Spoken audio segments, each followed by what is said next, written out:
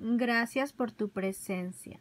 Gracias por tu presencia y cercanía, querido Jesús. En cada momento del día, gracias Señor por tu luz y tu fuerza.